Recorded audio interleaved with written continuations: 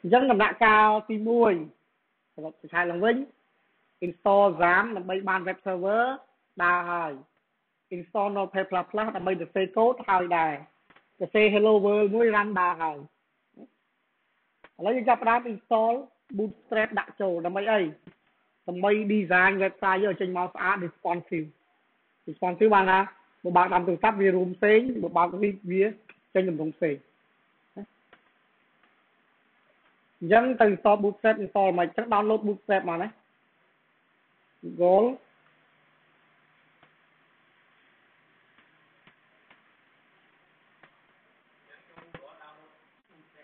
បាទបាទចាំមកខ្ញុំស្គាល់ទុកណាបាទ bootstrap 4យើងប្រើ bootstrap 4ហ្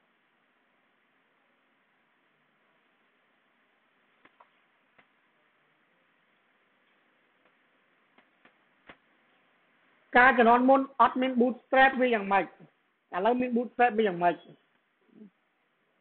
អត់ bootstrap យើង design ខ្លួនយើងទាំងអស់រាល់ពណ៌ color button form ស្អីស្អីគឺ design ឲ្យទាំងអស់ website មួយត្រូវចំណាយពេល build សម្បក build អា HTML CSS JavaScript ឲ្យមើលទៅស្អាតហ្នឹងចំណាយពេល50%នៃពេលបញ្ចេញទាំងមូល ប៉ុន្តែពេលមាន bootstrap ដាក់មក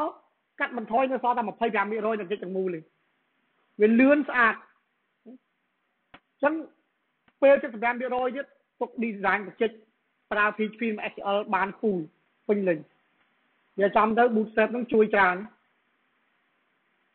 ខ្ញុំជំនាន់មុនខ្ញុំខ្ជិលអាធ្វើសបកធ្វើ form ធ្វើអីស្អាតស្អាតហ្នឹងអញ្ចឹង website មួយខ្ញុំនៅចំណាយ 30ទៅ40ឬក៏អាចដល់50%នៃបច្ចេកទាំងមូលដើម្បីផ្ដល់ទៅឲ្យ web designer គាត់គិតទៅ design កាបកដល់ខ្ញុំឯងមក full website ហ្នឹងបោះមកឲ្យខ្ញុំខ្ញុំចាប់ផ្ដើម build មិចជាមួយនឹង PHP ប៉ុន្តែឥឡូវអត់ចំណេញដល់ហ្នឹងអត់ត្រូវការ web designer ជួយខ្ញុំយកទៅ bootstrap ដាក់ដើរស្អាតទៀតហ្នឹងចំណេញផងហ្នឹងណា ឥឡូវកំពន់អាទៅមុខទៅក្រោយកំពន់អាលឿនជាងគ្រូអីអីស្ដាប់មួយមួយមួយមួយហើយមើលគាត់នេះណាដោយសារតាមខ្ញុំមើលគេថាចេះទៅមុខលឿនលឿនពេកអត់បានស្ដាប់សួរអាសំណួរដដែលឡើងវិញអត់មានបញ្ហាសម្រាប់ខ្ញុំឆ្លើយឆ្លើយមិនក៏បានដែរណាប៉ុន្តែចាំទៅនិយាយចាំទៅខាត់ពេលអញ្ចឹងណាអញ្ចឹងមើលមួយមួយអត់បាច់បារម្ភរឿងអនុវត្តទេប្រទះវិញវាក៏ចេញទៅវិញយកវីដេអូទៅធ្វើធ្វើប្រហែលក៏បាន បាទពេលជួបនេះតែ3ម៉ោងឬទៅ4ម៉ោងទេអញ្ចឹងចង់អាពេលហ្នឹងយើងធ្វើអីថាអឺសួរអាណាដែលថ្មីថ្មីហើយស្ដាប់ច្រើនហ្នឹងហើយសួរក៏បានដែរប៉ុន្តែគាត់ថាអនុវត្តចេះកំប៉ុនណាទៅមុនមើលសិនទៅប៉ុណ្ណេះហ្នឹងហើយអូខេអញ្ចឹងទៅ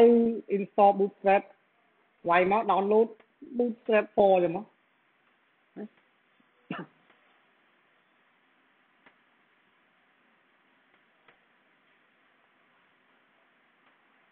បាននេះ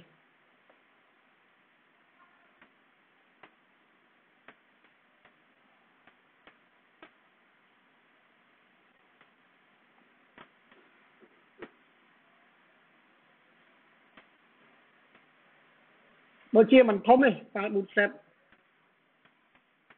បានមេនេះដើរទៀត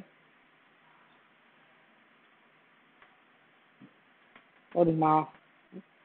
ចឹងមើលផងមកចាក់ដោនដោនដោនចំអាប្រភេទរបស់វាផ្សេង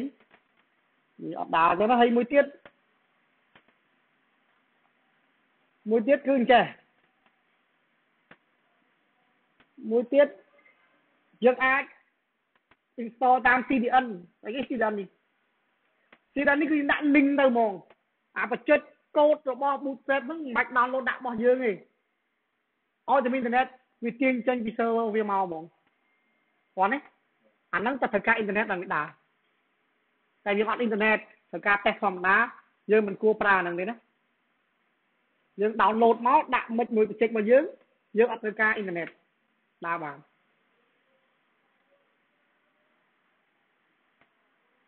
ណា download download នេះ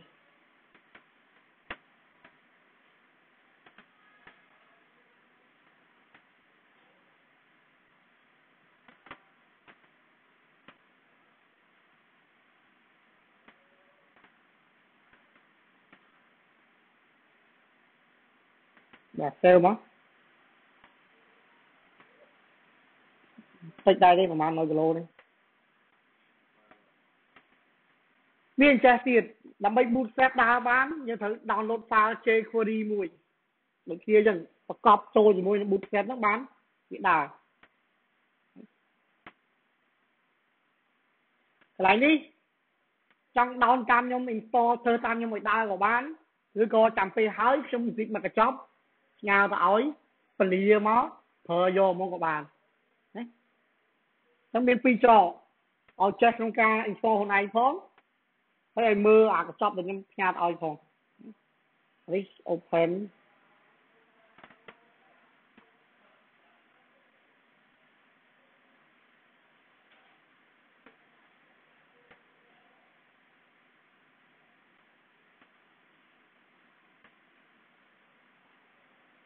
នឹងមកចោលនឹងចូលទៅណាចូលទៅក្នុង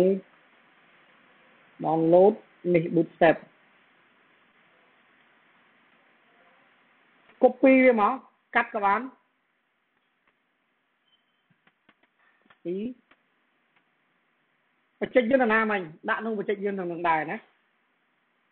ក្នុងសាមក្នុង AT doc នៃ PS របស់យើងផាសដាក់នឹងមក បើឲ្យ extract វាដូចគ្នាអញ្ចឹងណាពលាវាចេញមក zip ចឹងគាត់ដើរទេបាទ zip ហើយអា zip នេះអាចលុបចោលបានហើយអាចចូលទៅក្នុង folder bootstrap ពលាវាអាចច្រើនដំណាក់កាលអញ្ចឹងណាចូលឲ្យដល់2 folder នេះ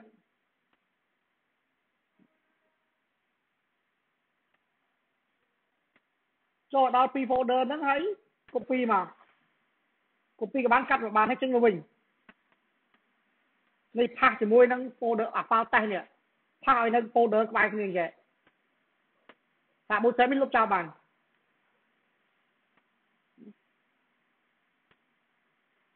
បាទបាន CS បាន JS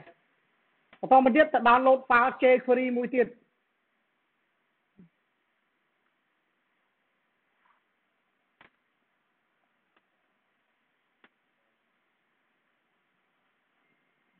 download jQuery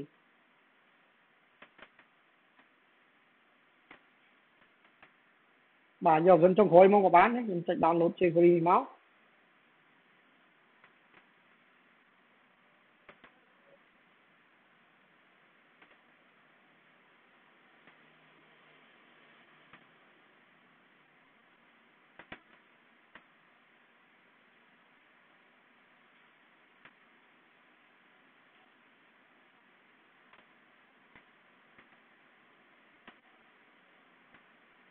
បាទ3.1.1នេះប៉ុន្តែ jQuery កុំចុចលើវាបើចុចវា view code view អា code jQuery ចឹងមកស្ដាំលើវាយក save link us ឬក៏ save target us នេះ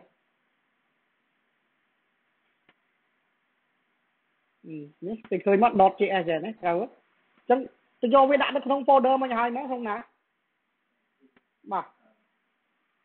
C drive C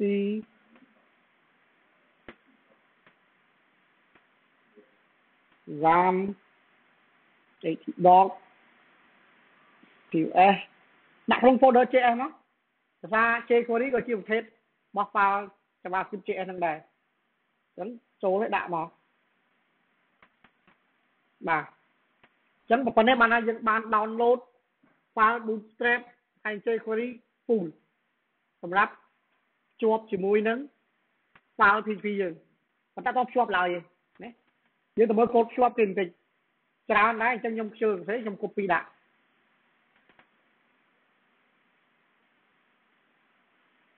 ដាក់មក